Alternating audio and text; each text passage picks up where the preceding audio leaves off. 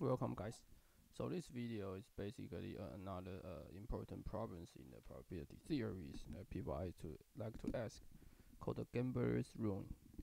Okay, so uh, player M M1 has one, and the player S S N2 uh, N S two two dollars, right? Each player give one of the players one dollars from the other.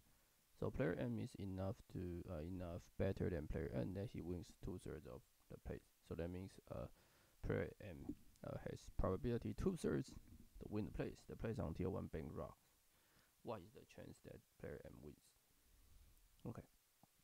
So you can uh, think carefully, and uh, once you are ready, then you can see the answer. Okay, so before we do that, uh, uh remember that at uh, last video, uh, in the last videos, we proved that the cliffhanger, basically you have one uh, one drunk man and uh, he at one at the zero is a cliff. Then we prove that uh, if he have the left, if the if he go left has probability p, and then go right has probability one minus p, then the probability he uh he go to zero. Basically, he, he dead. The probability is just p over one minus p. If p is less than 0.5, and the p larger than 0.5, it, the answer is one. Okay, so this is the previous uh, videos that. Uh, uh, previous result uh, basically uh, you can remember it. Okay so now uh, we can use this to prove to uh, show this. Basically this is exactly the same as this gambler problem.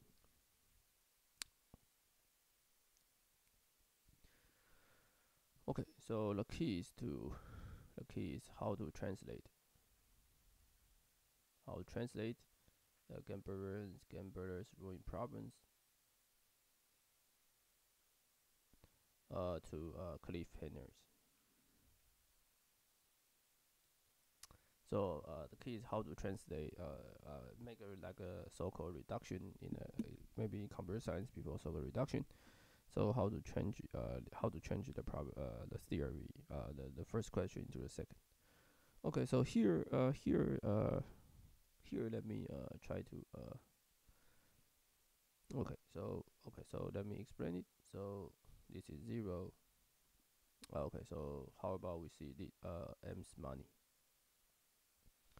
So m's money is zero uh, or one or two.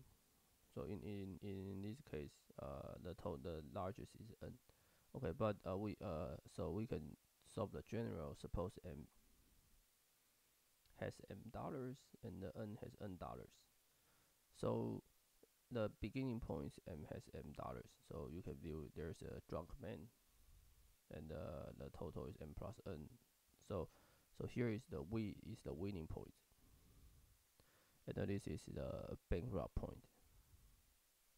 So basically uh, one can view this problem has is, is exactly the same as cliffhangers but the problem is that you have two uh, different kind of threshold one is the bankrupt one is the winning right? Because if you already got m plus n money then the game is over. The game is over.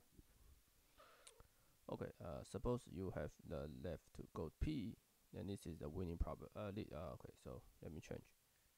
Uh, so this is 1 minus p. So p is the win the, the probability m wins in each game.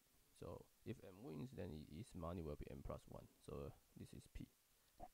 So we have a p uh, go left, uh, go right, and one minus p go left.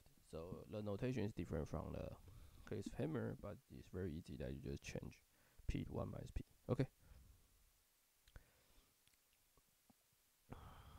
Okay, so okay, so uh, so now uh, we can get the answer. Mm, okay, so uh, so suppose uh, m loses the probability uh, the probability of m lose is q okay? Then uh, what we have is what? What we have oh by the way I let q equals 1 minus p. So let me plot the so you start from m and go 0 and go this is m plus n. So the drunk man is here.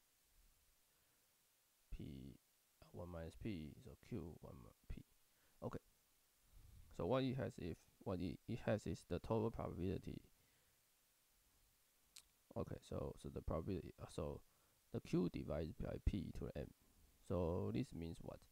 Uh, this means that uh, uh this means it this means it go drunk, go drunk. Yeah, it, it, I mean it, uh this means it go to this cliff. So remember the the remember the cliff result is p divided by one minus p. So in this case, it's q divided by it's p divided by q. But uh, in our notation, the pqs are changes. So this q divided by p is m. This means that uh, m lose. Basically, this is equals to q. So one component is q, but one is one minus q. So this means m uh, wins. Right, one minus q means m wins. But uh, it but at what case M will wins? The case M will wins is basically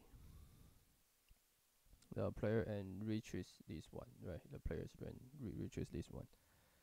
So uh, the player n reaches this one has probability q divided by p n plus n. So this is the previous cliffhangers. This is also cliffhangers, but we just ch ch use the two uh, cliffhangers result to get a to get the answers.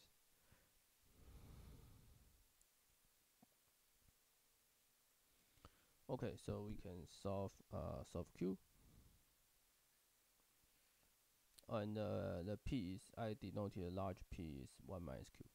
So this means the M win, M win. Okay, so once we solve it, we can get the large P is 1 minus uh, Q divided by P, M plus N power divided by 1 Q minus P, M. Oh, sorry. This is, this is the answer. Okay. Okay, so uh, now we can uh, plug the formula that uh, when p is two thirds. So p small p means that the m can win two thirds again, and the q is this, and the m has one dollars, and the n has two dollars. Then we plug in. Now we can compute the p is uh, four over seven. Four over seven. Okay, so this tells us that uh, the M still all of n n only has n only has a half money as n, but uh, M still has can win. Okay. Okay, and uh, so one one important uh uh so this is the formula. Let me write again.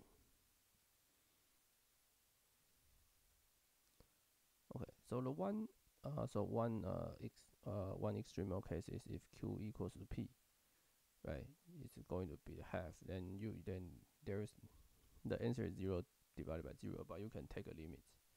So we take a limit and we just take a log and then you can prove that the limit is just this.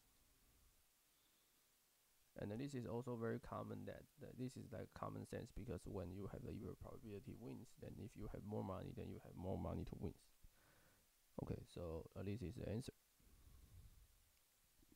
okay and I think it's enough for this video because uh okay so this videos uh, what we have proved is that uh, we can change this uh, gambler's ruin problems into the cliffhangers uh, so the important key point is this equation.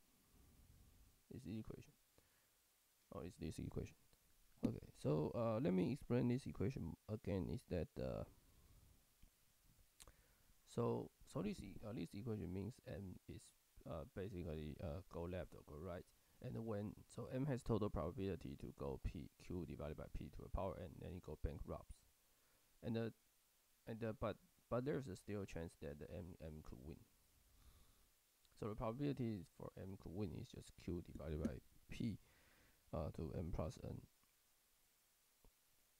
Uh, why this is this? Uh, this means that the uh, that is equivalent to the infinite bank winning without player m ever reaching m plus n.